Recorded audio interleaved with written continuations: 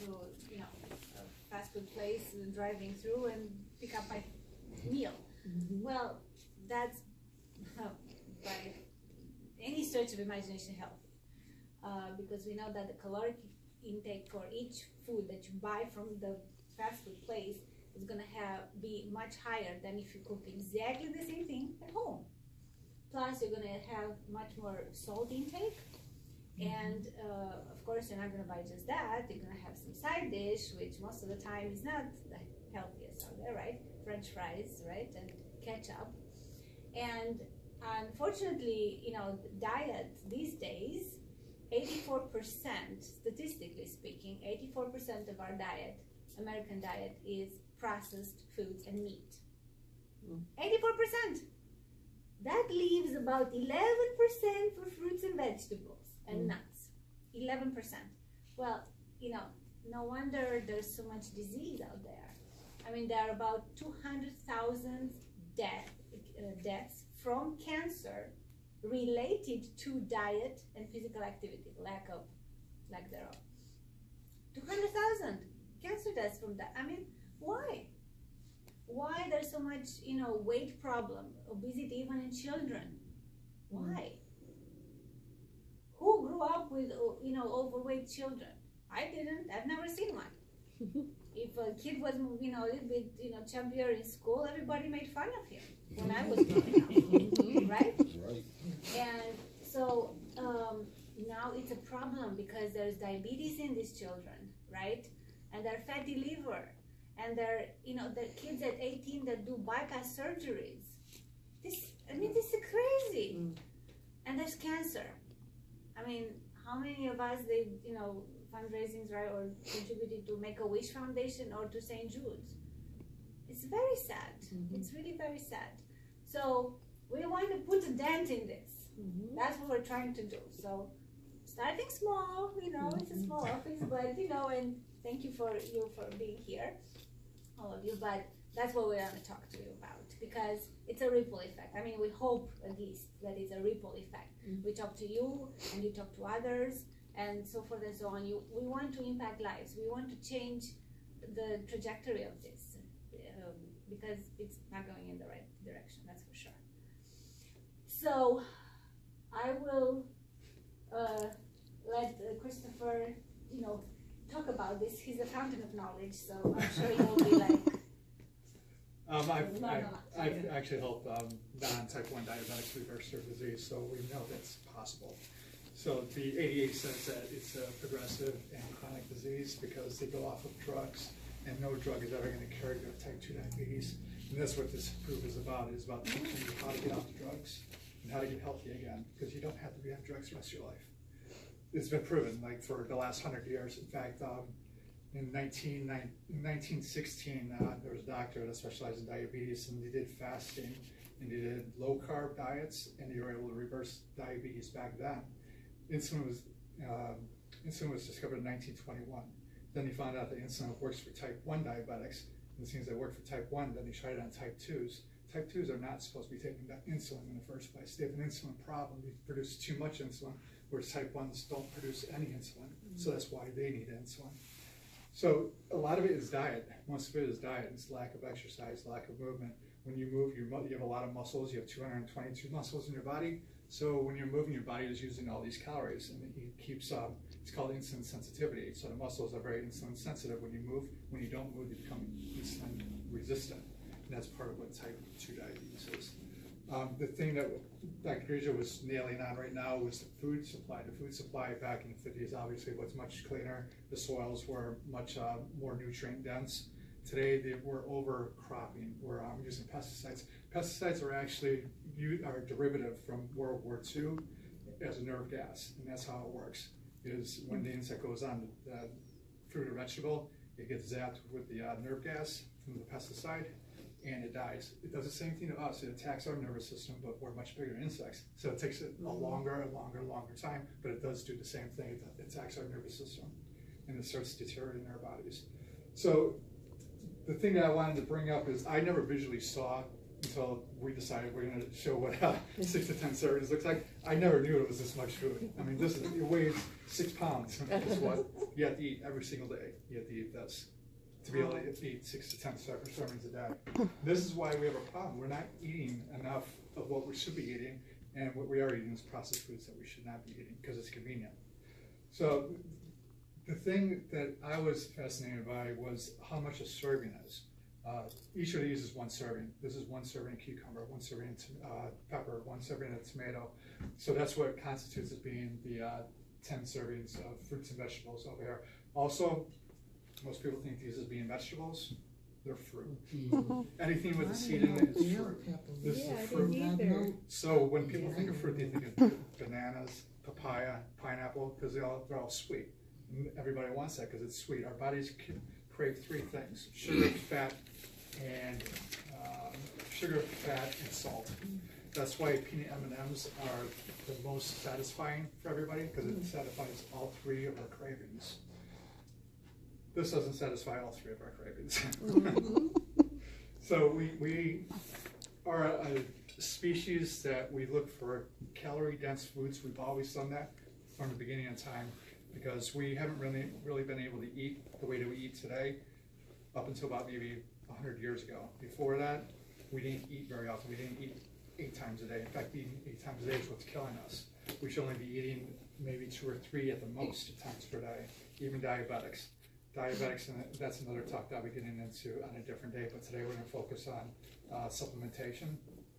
And seeing how hard it is to eat something like this every day, every day to get all the micronutrients, which are the vitamins and minerals that our bodies need, the enzymes to keep us healthy, to keep the cells functioning properly. This is what we need to be eating. The meat, the protein is, is another macronutrient. This is the um, starches and sugars is carbohydrates. So these are all sugars pretty much. And there's different types of sugars. There's fast acting sugars called simple sugars, and there's complex sugars. These are complex. It takes longer for the body to digest it, so the insulin comes up slower and comes down slower. Whereas um, when you eat like uh, sugar, sugary foods, ice cream, donuts, the insulin jacks up, then it plummets down, and you're hungry again. So you eat again, jacks up, goes back down. So you're up and down, up and down all day long. So this is why most people want to eat about five or six times a day because they get that sluggish feeling. So they need a little pick me up, either coffee, which is fine. I have no problems with coffee, but they're reaching for the cokes. There's 40 grams of sugar in a coke. There's mm. one teaspoon for every four grams of sugar. So 40 grams, that's 10 gram, 10 teaspoons of sugar in four, in 12 ounces. And when I did a talk and I actually took a glass of water and I put 10 teaspoons of sugar in and I gave it to a guy who does, he drinks like eight or nine Cokes a day. I'm like, go ahead and drink this. And he's like, that's gross. I'm like, you're doing it eight times a day though when you're drinking this. So when you're like, when you become aware of things, I think that's the first step is to make changes. You have to become aware of the problem. And that's what we're trying to do is we're trying to get you guys aware of what's going on, why you might have type 2 diabetes or being overweight and not being able to lose the weight. It's because you have to become aware of what you're doing. And once you get through that, then um, things can change. I mean, a really interesting story. I bought one of my clients a, a weight, I mean, a um, scale for Christmas. Mm-hmm. He was mad. He's overweight. But this thing like measures a bunch of different things. It measures visceral fat, which is the fat that causes all the problems. It's in the midsection area mm-hmm. around your organs and everything. That's the fat you need to get rid of. It's not the fat in your cheeks or your legs. It's this fat right here. So he has a belly on him. He had right exactly. And the harder it is, the more visceral fat there is in there. Mm-hmm. So he had um, he had cancer. It was intestinal cancer. So that's why he started seeing me in the first place. So he doesn't he can stay away from that. So he texted me, he said, I'm really mad at you. Why would you buy me a scale? I'm like, because there's different things on there that it measures. It measures a bunch of things on there, water intake, uh, lean body mass, all these things. The thing that I told him I needed him to watch was the visceral fat. So he's had that scale for about what was it, two months. His visceral fat was on the scale, it was 16, it should have been a nine. Nine is um, is the cutoff from being okay, and then it starts going into the high alert, starting getting the metabolic syndrome and diseases.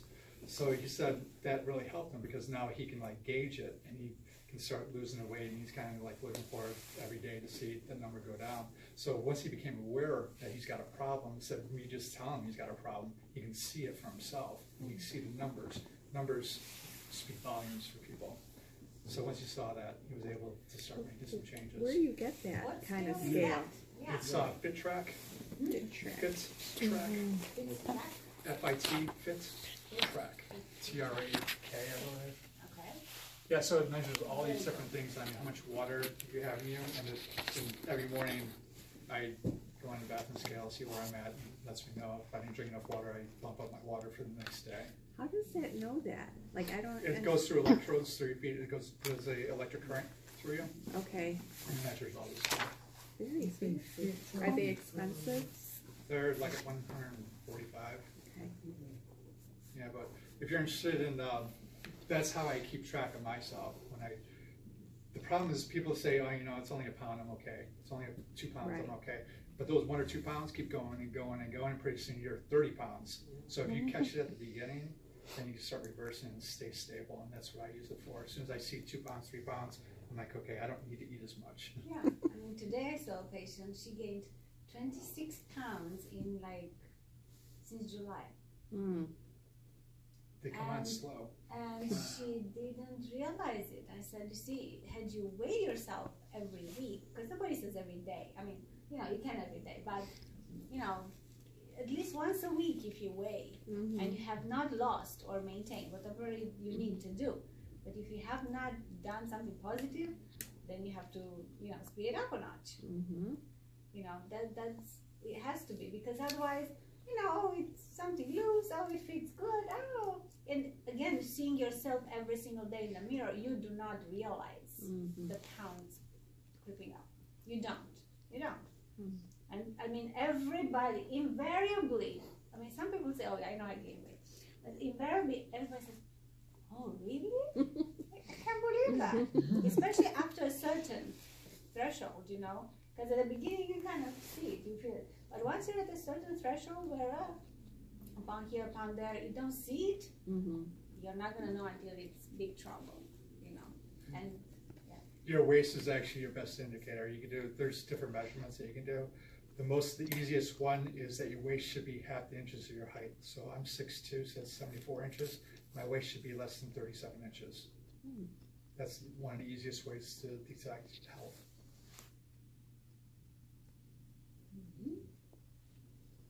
yes, Can you repeat that again?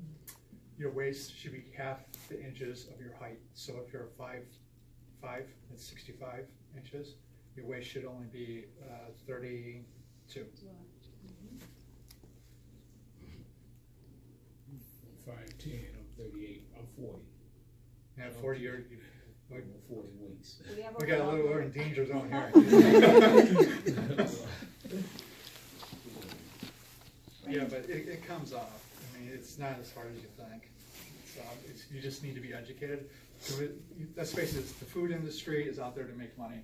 There's twenty-seven or twenty-eight different names for sugars, and those sugars are what causes all the problems. It's what causes the type two diabetes, what causes weight gain, it's what causes cancers, See, I'm a type two diabetic. I'm sorry. I take metformin. Okay, yeah. So you, is he one of your patients? No. Oh, no, you're the patient. She, she dragged me along. I think- Thank you for recommend coming. that she Thanks does for that. dragging him, and She thanks for told, she coming. told me, the doctor said, bring your friend. And I looked at it. I think the problem is that America is health illiterate, and it's because of the food company. It's all about money. So they're, um, And so True marketing. Diabetes is a multi-billion dollar company. They're not gonna give it up. Mhm. It's like, they know that it's reversible, but they keep telling you, all the government agencies say the same thing because government ag- agencies are in their pockets. It's how they get the funds for their own operations. So they're not gonna cut off their hand from that. So, and Dr. Grija can't say anything because I'm not licensed as a doctor, I can. I'm not gonna lose anything, but at least I'm telling the truth. And You do your own research and you can find out for yourself. I've been doing this for twenty-five years, so I know quite a bit. No, but it's true. I mean, you know, the natural um, options are not on the radar of anybody big. because they don't make money. You don't make money out of a supplement, you know, or you know, fruit or vegetable put together or something. You don't. You know, you make money off of you know, you need three, four diabetes medications. You need chemotherapy. You need you know whatever. Those are the big money makers. So I totally agree that pharma is you know I mean again this, this whole come on I mean in, in the airport by example you know for example why is it horrible food in the airport? Why do we have to have a, you know, literally like something like this, a stand like this, always candy, candy, candy, candy, candy, candy, Mhm. candy, candy, candy, like this all around, full of different colors, and all the kids like, oh, Mm-hmm. and then you wonder why cavities, why obesity, why diabetes, and so forth and so on, you know, and what's advertised on TV, right? You know, a dollar, a dollar, a dollar a burger. A Big mm-hmm. Mac is a thousand calories. Who needs that at one meal? Mm. Nobody. French fries and ketchup are not vegetable. They're not part of the vegetable intake. It's not. One of the talks that I gave, I talked about processed foods and the Big mm-hmm. Mac was part of it. I bought a Big Mac about a month before my talk when I was hired for it. And I put it in a Tupperware, but I left the lid off. And the day of my talk, a month later, it was still the same way that it was when I bought it. That means there's no nutrients in it. Nutrients will die off and they'll get moldy. There's no nutrients in it, so it's all empty calories that you're eating. And a Big Mac is like a thousand calories. That's like, and that goes down pretty quick, doesn't it? No, it's not good. People, I don't know, It how much tastes it goes good, down like that. No, it's your killer. It's your, en- it's your enemy. I mean, the standard again. The standard American diet is like I told you. This, you know, again, eleven percent. You know, uh, veggies, fruits, beans, nuts, and out of it, these eleven percent people put French fries with ketchup. That's part because of that's the a vegetable, vegetable. isn't it? So this is even less than eleven percent of the diet. Wow. Okay, whole grains four percent, uh, animal products thirty-two percent, fifty-three percent is processed foods. So, again, I always teach my patients, go in the store around the walls, outside walls. You don't go through the aisles unless you need, I don't know, flour or spices or something. Mhm. But there is it all around.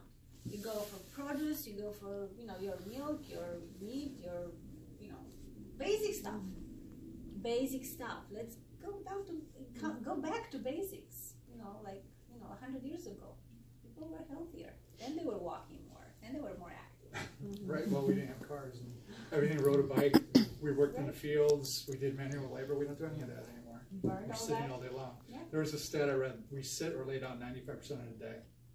We're either sitting or laying down, Mm. so that just means we're just, we don't need many calories for that. Mhm. Yeah, right. I mean- So another thing that I wanted to bring up is that people are still hooked on this fat is bad for you. And that's all actually all started from a doctor by the name of Ancel Keys back in 1956. He did this study called the Seven Countries Study. It was actually he did 22 countries, but he cherry picked what he wanted. He wanted to prove that fat causes heart disease and uh, and some other diseases. So he went all over these countries, and the government actually funded him our government and a bunch of other governments around the world funded this study to do it. He did it, it took like twenty years to do it. In the seventies, he came out with evidence saying that fat makes people fat and then also causes cardiovascular disease and heart disease. So we brought that to the government. That's when the government started urging us to lower our fat intake and the carb, to increase our carbs. So what happens, the food industry came in and remember the three things our bodies crave is fat, salt, and sugar. So if the fat's gone, the only thing you can do is bring up the sugar. So they did that with the carbohydrates, and that's when obesity started skyrocketing, and type 2 diabetes follows in parallel. When uh, the weight goes down, diabetes goes down. Okay, it's a weight-related issue. So, uh, what they found that's causing all the problems, the heart attacks and the um, and the cardiovascular disease, is actually refined carbohydrates and sugar. So sugar is like crystal, right? When you take it out of the, out of the bag, it's crystal. When it goes through your blood veins, it actually scrapes the vein, the, the blood stream, and it tears it. So what your body does is it takes in cholesterol and saturated fat, patches it up like you do a drywall with um, paste or whatever. Spackle, spackle, Spatch. Spackle. exactly. I'm not handyman. so it patches up the hose with that stuff. And when they did all these studies, they said, well, saturated fat and cholesterol is causing all these problems. But sugar's been long gone, and saturated fat and cholesterol are doing their job, trying to keep us from uh, this, from dying, basically, because you have tears in your bloodstream, the blood goes out, and you have all sorts of problems then. So it's not the it's not the fat that causes the problems. So we need to. You can do whatever you want, but what my successful people have been doing is they increase their fat, they decrease their carbs, and keep protein at a moderate level. So they're eating like seventy percent fat in their diet, and they're really look at Another atherosclerosis. visual. You're full of visuals today. Atherosclerosis. You see it all clogged over here. Yeah, wow. It's all sugar. But- you and fat. fat, So saturated fat are is actually a healthy fat. Saturated fat. Mm-hmm. It's a natural saturated, saturated fat. Trans fat is the one you have to worry about. So peanut butter is a prime example. Everybody knows what peanut butter is. You can open up that jar and that peanut butter would be the same ten years from the day you bought it because the saturated fat keeps it creamy and it keeps it preserved. Saturated fat is what clogs your arteries, so stay away from that. But the um, monounsaturated fat, polyunsaturated fat, and saturated fats are the fats that we should be consuming. Natural fats, so avocados, nuts, as many nuts as you want. But with that, remember that fat calories, there's nine calories per gram of fat, whereas there's only four grams for uh, carbohydrates. So you have to be careful of that. There's twice as many grams, uh, calories rather per gram. So you have to be careful with uh, the weight. Is uh, almond butter better than peanut butter as far as the fat content?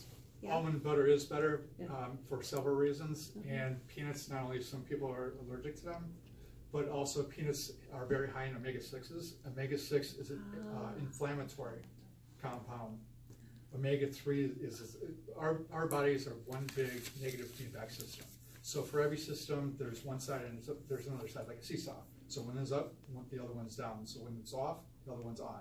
Okay. So the omega sixes is, is an inflammatory compound, whereas omega threes is the anti-inflammatory compound. So we need to bump up the omega threes and reduce omega sixes. We still need um, we still need omega sixes. We still need inflammatories because when you cut yourself, you need that blood to coagulate. So you need some inflammation. So some inflammation is good, but a lot of inflammation is not good. So we need to bring all that stuff down and get the omega threes in you. And that's fish. Fish, salmon's great. salmon. Nuts, lots of I had nuts. tonight. So just question, Same. so can I eat peanut butter or not? No, No. I would not. No, no.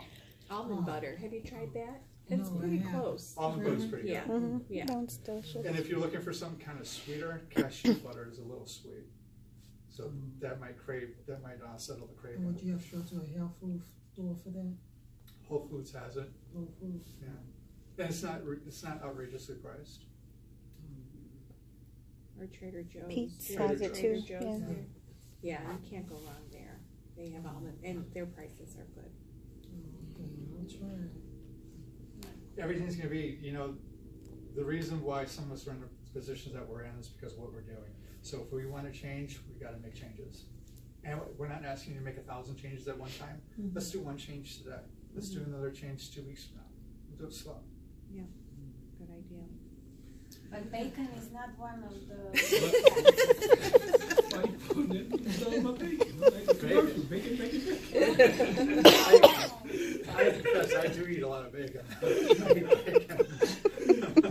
Bacon, bacon. How about prosciutto? Bacon, bacon, bacon. Prosciutto. But I don't, I don't do bread. I mean, I, my carbs, I, eat- I'll either, either eat uh, fat and protein, or I'll eat carbs and protein. And one of our talks that we'll do later on is we'll talk about carb cycling. See, I don't eat a lot Because- of bread, I do eat the bacon, I don't eat a lot of bread with it. Right, so I, we have a difference of opinions. I eat a lot of bacon. But without the bread, he eats a lot of yeah, you bread with gotta- it.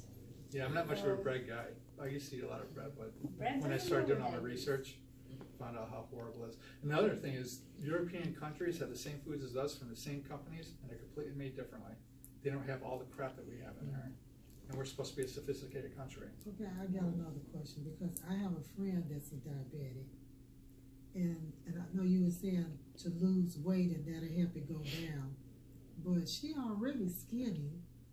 So when she, she done lost a lot of weight, but she's still a diabetic, so how does that work? So if I lose seventy or eighty pounds, the diabetes go away? Okay, diabetes is a sugar problem in the liver. The liver, the liver does a lot of stuff. And when, when you eat, that's a different. Um, it's a visual thing, okay. makes things. When you eat, the calories get metabolized and they go into, we have seventy-five trillion cells to make up our bodies. So once, once all those cells are full, then they go into our liver and our muscle tissue, it's called glycogen. And that stores about a day's worth of calories in our liver and our muscle tissue. And as the energy in our cells deplete, then our body starts converting the glycogen back into glucose and goes into the cell. Okay, it's called gluconeogenesis. Okay, then once that's depleted, then it goes into the fat cells, and start using fat as a primary uh, energy source. So we have to deplete the glycogen from the liver and the muscle tissue so we can start burning more fat. And with diabetes, uh, Roy Taylor, a doctor out in New England, in uh, England, uh, Newcastle was the name of the university, he found that 0.5 grams, that's a half a gram of fat in the pancreas, too much of that is what causes the diabetes because then the islets don't work properly for the insulin to work properly. So once you get rid of the fat, then you get rid of the diabetes. And you also brought up a good point because I always thought that diabetes is an obesity disease. There could be skinny people out there. What happens is that I modeled for a long time too, and there's a lot of skinny fat people out there. so when you touch their arm, it's like jello. There's no muscle whatsoever in there. So each of our bodies, we have a body fat set point, it's called.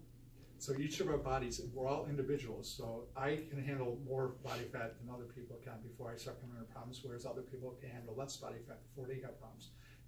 The skinny people, the people that look skinny that have type 2 diabetes, they're beyond their fat level. They can't carry as much body fat as other people can.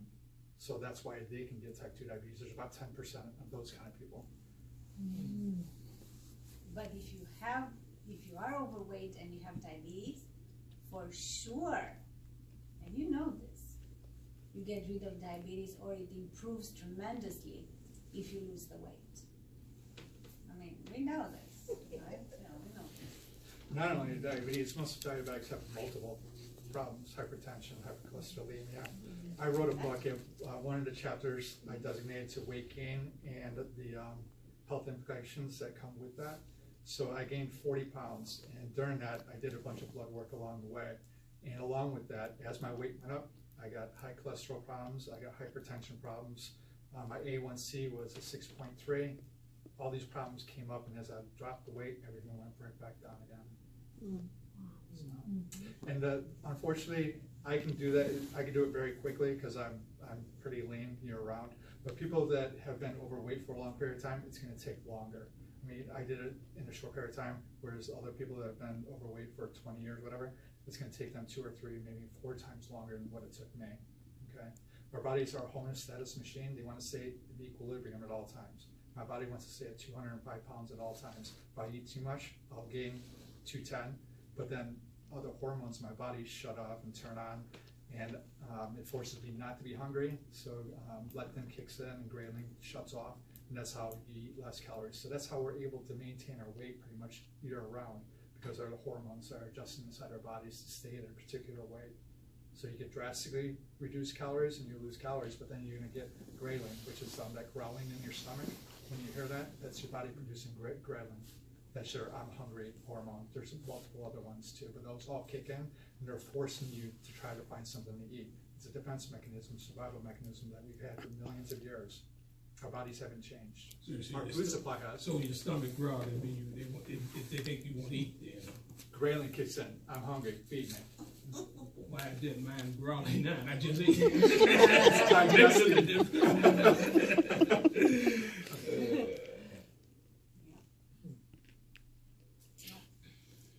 want to talk And the other thing is that, um, the, um, you know, actually, when you exercise, you increase your nutrient needs, right?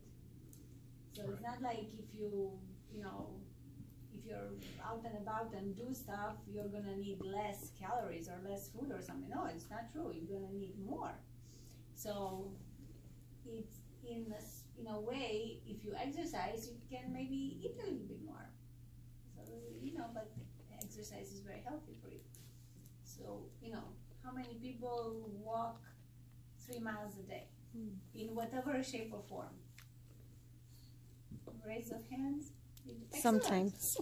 excellent. Yeah. Three miles a day, right? A really good investment you can make is getting a Fitbit. And it's got the calorie, the uh, step counter on there. I mean, it's, uh, all my clients have it. They, they have to hit ten thousand, otherwise they come in to my, uh, to the session with me at the end of the session, if it's not at ten thousand, they're on a treadmill for another half hour until they get there. So I'm very adamant about that, that's, ten thousand steps is five miles. You can burn three hundred calories per mile, walking at an average 3.0 miles per hour, that's what the average person walks rather. So you can burn a lot of calories that way, just walking. So you don't need any money, you don't need a gym, you don't need anything, you just have to need two legs and start going. Yeah, I mean, most people, you know, invest in gym memberships and then they don't use them. Oh, I'm guilty, I paid for it and I didn't go. Well, why did you buy it? You knew, or buy ellipticals or treadmills and they sit there, use that hangers or something. well, know what, to be honest, if I had a home gym, I wouldn't use it either. It's too convenient. So, um, getting to the, to the gym is half the battle, it's mentally preparing me for what I need to do. So I think that it's, I mean, if, if it works for you, it works for some of my clients. It doesn't work for other clients of mine. But, uh, everybody's different. I mean, it could be like a glorified, uh, hanger, clothes hanger. Exactly, exactly. But, and reducing oxidative stress, Oxidative stress, yes. Free radicals. free radicals. I mean, we just breathe, right? Just by breathing, we produce free radicals. These are like abnormal molecules, basically, which kind of attack practically your DNA, your cells, generally speaking, and there is more damage, and that's how things start forming more inflammation, more maybe mutations, and so forth and so on. That over what 90 percent of illnesses are from oxidative stress, basically. So the only way to fight this is with antioxidants, and um, those are your antioxidants. Those are your fruits and vegetables are your antioxidants. Those will keep fight going. That um, and need a lot of them. Yeah. And fruits also. Not just you know, well those fruits. when you buy your your vegetables, and again, these are fruits, so you don't need a banana for a fruit. yeah, no. when you buy this stuff, look for the darkest colors because what these are is phytonutrients. It's what protects the vegetable. Try to get organic. Organic, we don't really know how organic organic is, but um, it's better than conventional no matter what, and it's only a few cents more. So these uh, these are loaded polyphenols. Is uh, when you say that olive oil is good for your health, they're talking about the it's called polyphenols. It's a uh, it's a compound inside vegetables and fruits also, and it fights those free radicals. The free radicals, as Dr. just said, when you take a breath, you're creating free radicals. It's creating stress in your body. When you work out, when you uh, when you eat, anytime, all day long, every second of the day, your body is creating free radicals, and most people aren't doing anything near this. I don't think my brother doesn't even eat a vegetable. I don't think he knows what a vegetable is. and he's he looks twice his age. Uh, free radicals make you age. They give you um, the black circles on your eyes, the saggy skin, wrinkles, uh, diseases. Type two diabetes is because of free radicals. Uh, cancer, uh, hypertension, all these other diseases are from free radicals. So we have to fight those free radicals with the other word for free radic- radicals is oxidative stress or oxidation. The opposite of oxidation is antioxidation, antioxidants. So that's how we fight all that. You can actually grow older, younger, if that makes sense. You can slow down the aging process drastically. And not everybody's into aesthetics of how they look, but feeling. How do you feel? Do you feel healthy? That'll help you feel better. Yeah, and I think Makes sense. everybody, if they can, you know, you know, the, because the weight, okay, damages, you know, things inside and diabetes and all that, but also arthritis, right?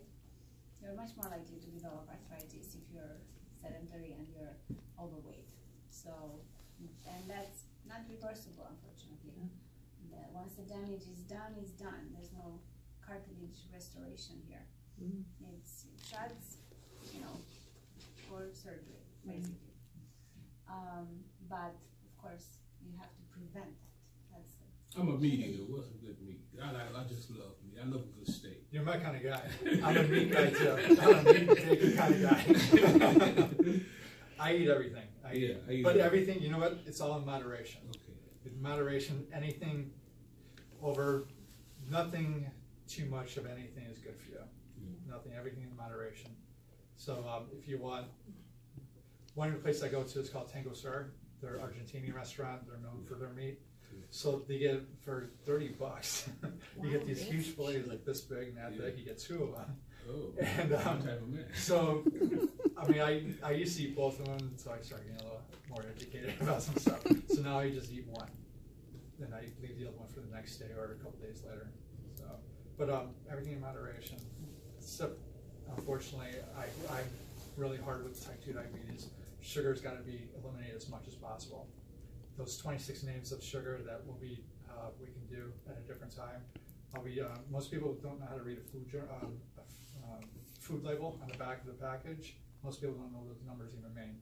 So I teach my clients and I teach other people what those mean. Once you become aware of what is inside that package, and you're like, uh, I really don't need that. There's other alternatives. An alternative for um, like olive oil. Everyone thinks that they just get any kind of olive oil. It's healthy. What happens is you want a dark green bottle or a black bottle because enzymes denature the enzymes inside the antioxidants. They denature meaning that they die from light, oxygen, um, air, age, and there's a fourth one. I forget what the fourth one is. So you want a dark bottle and you want extra virgin olive oil. What about grape seeds oil?